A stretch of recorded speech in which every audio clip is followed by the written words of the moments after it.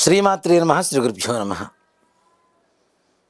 మనకి రాబోయేటువంటి నూతన సంవత్సరం తెలుగు సంవత్సరం క్రోధి నామ సంవత్సరం. క్రోధి అంటే క్రోధము అంటే కోపము ఆవేశము అని అర్థం. అలా అని చెప్పి అందరికీ ఏదో ఆవేశం వస్తుందని కాదు. ఎక్కువగా యుద్ధ భయాలు కలుగు చేసేటువంటి ఒక ఆవేశపూరితమైనటువంటి ఆలోచన స్థితిని కలుగు చేసేటువంటిదే ఈ క్రోధనామ సంవత్సరం. ఇక్కడ ఉగాది తరువాత కొన్ని రాసుల వారికి కొన్ని రాసుల వారికి విశేషమైనటువంటి అఖండ రాజయోగం పట్టబోతోంది. ఎలా? గ్రహస్థితుల మార్పు వలన. మరి ఏ గ్రహాలు మారుతున్నాయి? ఎక్కువగా మనకు చూడండి గురుగ్రహం ఒక రాశిలో ఒక సంవత్సరం పాటు ఉంటుంది. శనీశ్వరుడు రెండున్నర సంవత్సరాల పాటు ఉంటాడు. రాహు కేతువులు పద్దెనిమిది నెలలు అనగా సంవత్సరాల కాలం పాటు సంవత్సరన్నర కాలం పాటు ఒకే రాశిలో ఉంటూ ఉంటారు. వీరు ఒక స్థానాన్ని మారుతూ ఉంటే కొన్ని రాసుల వారికి విశేషమైనటువంటి అఖండమైనటువంటి రాజయోగం కలగబోతోంది. ప్రతి సంవత్సరం కూడా గురుడు ఒక రాశి నుండి ఇంకొక రాశికి కరెక్ట్గా సంవత్సరానికి మారుతూ ఉంటాడు. అలాంటి శుభయోగమే మనకి యొక్క ఉగాది తర్వాత జరగబోతుంది. మరి ఆ రాసుల వారెవరు? గురుడు స్థానచలనం కలిగితే ఎలాంటి శుభాలు చేకూరుతాయి? అంటే వాటిల్లో ముఖ్యంగా చెప్పుకోదగ్గ రాశి వృషభ రాశి. ప్రస్తుతానికి మేషరాశిలో గురుడు ఉన్నాడు. ఈ గురుగ్రహం ఏప్రిల్ ఇరవై రెండవ తారీఖు నుంచి వృషభ రాశిలోకి మారబోతోంది. కాబట్టి మన జన్మ రాశిలో గురుడు వస్తున్నాడు అంటే వృషభ రాశిలో గురుడు వస్తున్నాడు అంటే గురువు అంటే ఎవరు? మాస్టర్ కదా కింగ్. ఎలాంటి గ్రహ బాధలు ఉన్నా సరే గురుగ్రహం బాగుంటే విశేషమైనటువంటి యోగాలని విశేషమైనటువంటి ఫలితాలని పొందవచ్చు. అలాంటి గురుడు వృషభరాశిలోకి ఏప్రిల్ ఇరవై రెండవ తారీఖున వస్తున్నాడు. అంటే వృషభరాశి వారికి అఖండ రాజయోగం పట్టబోతోంది. మీరు అనుకున్నటువంటి సకల కార్యాలు కూడాను దిగ్విజయంగా పూర్తవుతాయి. అఖండ లక్ష్మీ ప్రసాదం అఖండ కీర్తి ప్రతిష్టలు మీరు ఊహించినటువంటి మంచి మంచి మార్పులు. మీరు ఊహించిన దానికంటే కూడాను విశేషమైనటువంటి ఫలితం మంచి ఫలితం సంతానాభివృద్ధి వ్యాపారాభివృద్ధి ఇలాంటి విశేషమైనటువంటి అఖండమైనటువంటి రాజయోగం పట్టబోతోంది. వివాహం కానటువంటి వారికి వివాహం సంతానం లేనటువంటి వారికి సంతాన యోగం కూడా ఈ వృషభ రాశి వారికి కలగబోతోంది. ఏప్రిల్ ఇరవై రెండవ తారీఖు నుండి. అదృష్టవంతులు వృషభ రాశిలో పుట్టినటువంటి వారు. తదుపరి కర్కాటక రాశి. కర్కాటక రాశి వారికి మరి ఏమిటి అంటే ఏకాదశ స్థానంలోకి గురుడు వస్తున్నాడు. మనం ఏదైనా పూజ చేసేటప్పుడు ఆదిత్యాది నవగ్రహ దేవతా మధ్య ఏ ఏ గ్రహా అరిష్టస్థానేషు పరిత్యజ్య శుభ ఏకాదశ స్థాన ఫలావాప్త్యర్థం. అని చెప్పి సంకల్పం చెబుతాం. అంటే పదకొండవ స్థానంలోకి అన్ని గ్రహాలు వచ్చి వాటి దృష్టిని ప్రసరింపజేసి నాకు శుభాన్ని కలుగజేయి అని చెప్పి చెప్పడమే ఈ యొక్క సంకల్పం యొక్క పరమార్థం. అలాంటిది సాక్షాత్తు ఆ యొక్క బృహస్పతుల వారు గురుగ్రహం ఏకాదశ స్థానంలోకి వస్తుంది అంటే అందులో మిత్రస్థానాధిపతి. ఎట్లా అంటే కర్కాటక రాశికి అధిపతి చంద్రుడు కాబట్టి చంద్రుడు బృహస్పతి ఇద్దరు కూడా అత్యంత మిత్రులు సన్నిహితులు. అంతేకాకుండా గురువు ఉన్నటువంటి స్థానం నుంచి కర్కాటక రాశి అంటే వృషభం నుంచి కర్కాటక రాశి. వృషభం మిథునం కర్కాటకం మూడవ రాశి అవుతుంది.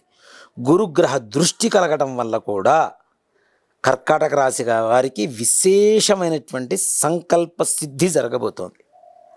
వారు అనుకున్నటువంటి సకల కార్యాలు దిగ్విజయంగా పూర్తవుతాయి. ఇల్లు కట్టాలి అని ఎప్పటి నుంచి అనుకున్నటువంటి వాళ్ళకు కూడా ఈ యొక్క సమయం చాలా సూచి సూచించబడేటువంటి శుభదాయకమైనటువంటి సమయం. ఇల్లు కట్టడం ప్రారంభించాం. మధ్యలో ఆగిపోయింది. అలాంటి వారికి కూడా పునఃప్రారంభం చేసి గృహ నిర్మాణం సంపూర్ణ సంపూర్ణంగా చేసేటువంటి అధికారాన్ని ఆ యొక్క యోగ్యతను కలిగజేసేటువంటి సమయమే ఈ యొక్క ఉగాది నుంచి కర్కాటక రాశి వారికి కలిగేటువంటి ఉన్నతమైనటువంటి సమయం. అంతేకాకుండా మంచి కీర్తి ప్రతిష్టలు సాధిస్తారు. ఉన్నతమైనటువంటి ఉద్యోగాభివృద్ధి ప్రమోషన్స్ మీ ఉన్నత అధికారుల దగ్గర నుంచి మంచి మన్ననలు పొందడం స్నేహపూర్వకంగా వారితో మెలగడం. అంతకుముందు కూడా ఆయన బాసు నేను పనిచేసేటువంటి వాడిని అనేటువంటి స్థితి నుంచి కూడాను ఆ పనిచేసేటువంటి ఉన్నత అధికారి ఎవరైతే ఉన్నారో మీ పైన ఉన్నటువంటి అధికారి వారితో కూడా సన్నిహితంగా చాలా ప్రేమగా మెలిగేటువంటి అవకాశం సంపూర్ణంగా కలుగుతుంది ఈ యొక్క కర్కాటక రాశి వారికి. ఇక తదుపరి ఇంకెవరున్నారు మనకి అంటే కన్యారాశి వారు. కన్యారాశి వారికి ప్రస్తుతానికి అష్టమంలో గురుడు ఉన్నాడు. అష్టమ స్థానం నుంచి భాగ్యస్థానం అంటే తొమ్మిదవ స్థానానికి ఈ యొక్క బృహస్పతి వెళ్తున్నాడు కన్యారాశి వారికి భాగ్యస్థానం అంటే భాగ్యం అంటే ఏంటి? డబ్బు కదా. దాంట్లో అన్నీ వస్తాయి. కన్యారాశి వారికి కూడాను అఖండమైనటువంటి లక్ష్మీదేవి అనుగ్రహం కలగబోతోంది. కానీ చిన్న ఇది తండ్రి యొక్క ఆరోగ్యం మాత్రం కొంచెం ఆందోళనకరంగా మారేటువంటి అవకాశం ఉంది కాబట్టి అలాంటి విషయాల్లో తగిన జాగ్రత్తలు తీసుకోవాల్సినటువంటి పరిస్థితులు ఏర్పడుతున్నాయి. కానీ కీర్తి ప్రతిష్టలకు కానీ మీరు అనుకునేటువంటి కొత్త కొత్త నూతన అవకాశాలకు కానీ షేర్ మార్కెట్లో వ్యాపారంలో కొత్తగా పెట్టుబడులు పెట్టేటువంటి వారికి కానీ కొత్త వ్యాపారాలు ప్రారంభించేటువంటి వారికి కానీ ఇది చాలా ఉన్నతమైనటువంటి సమయం చాలా శుభదాయకమైనటువంటి సమయం. తదుపరి వృశ్చిక రాశివారు వృశ్చిక రాశి వారికి కూడా చాలా విశేషమైనటువంటి యోగం కలగబోతుందండి. దేనికి అంటే వృశ్చిక రాశి వారికి సప్తమ స్థానంలోకి బృహస్పతి రాబోతున్నాడు వృషభం.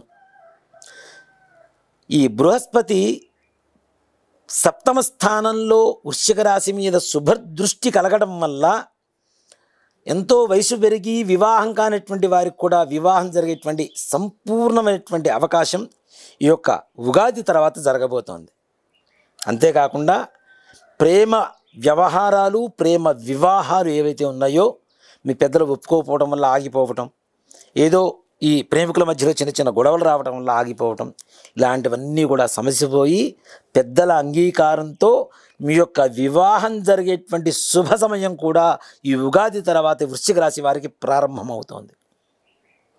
అంతేకాకుండా నూతన వ్యక్తుల పరిచయం వాళ్ళ ద్వారా ఉన్నతాభివృద్ధి ఆర్థికాభివృద్ధి మీ మనస్సు ప్రశాంతత ఏర్పడడం అనేది ఖచ్చితంగా జరుగుతుంది ఈ రాశుల వారికి.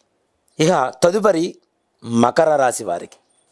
ఈ మకర రాశి వారికి ఏడున్నర సంవత్సరాల శని ప్రభావం ఉన్నా సరే గురుడు పంచమ స్థానం నుంచి మకర రాశిని చూడటం కారణం చేత ఈ మకర రాశి వారికి కూడా ఉన్నతమైనటువంటి యోగం కలగబోతోంది. ఒక స్త్రీ పరిచయం ద్వారా లేదా ముందుగానే పరిచయం ఉన్నటువంటి ఒక స్త్రీ ద్వారా ఆర్థికమైనటువంటి సంపద ఆర్థిక సంపద మీరు ఊహించిన దానికంటే రెట్టింపుగా మీ సంపద పెరగబోతోంది. అఖండ రాజయోగం పట్టబోతోంది ఈ యొక్క మకర రాశి వారికి.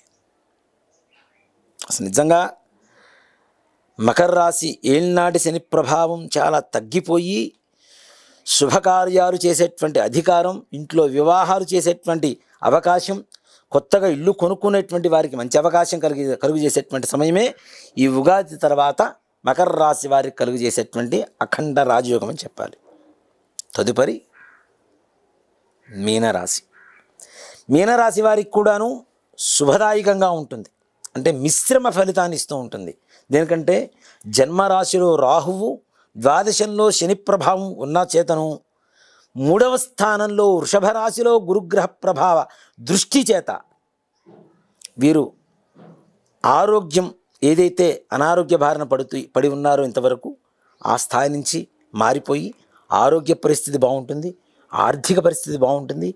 మానసికమైనటువంటి ఆందోళనలన్నీ కూడాను సమసిపోయి ధైర్యంతో ముందుకు అడుగు వేసేటువంటి మంచి శుభదాయకమైనటువంటి సమయం యొక్క మీనరాశి వారికి ఉగాది నుంచి పట్టబోయేటువంటి గురుడు వల్ల పట్టబోయేటువంటి అఖండ రాజయోగం అని చెప్తాం. అంటే ఇక్కడ వృషభ రాశి వారు కర్కాటక రాశివారు కన్యా రాశివారు వృశ్చిక రాశివారు మకర రాశివారు మీనరాశివారు. ఈ ఆరు రాశులకు కూడాను గురుగ్రహ ప్రభావం చేత అఖండ రాజయోగం పట్టబోతుంది. అందరూ కూడాను ఇలాంటి సమయంలో మీకుండేటువంటి అవకాశాలను సద్వినియోగపరుచుకుంటూ అఖండ రాజయోగం పట్టబోతుంది కదా నేను పని చేయకపోయినా నాకు డబ్బులు వస్తాయి అనుకోకండి. మనం చేసేటువంటి పని మనం చేస్తూ భగవంతుడి అనుగ్రహం చేత విశేషమైనటువంటి అఖండమైనటువంటి రాజయోగంతో మీ యొక్క ఈ జాతకులు ఈ రాసుల యొక్క జాతకులు మంచి వెలుగులోకి రాబోతున్నారు. అందరూ కూడాను తగినట్లుగా సమయస్ఫూర్తిగా ప్రవర్తించండి. ఆ యొక్క బృహస్పతి గ్రహ అనుగ్రహంతో అందరూ కూడాను సకల కార్య సిద్ధి పొంది తరిస్తారు అని చెప్పి శ్రీమాత్రే నమ. శ్రీ గురుభ్యో నమ.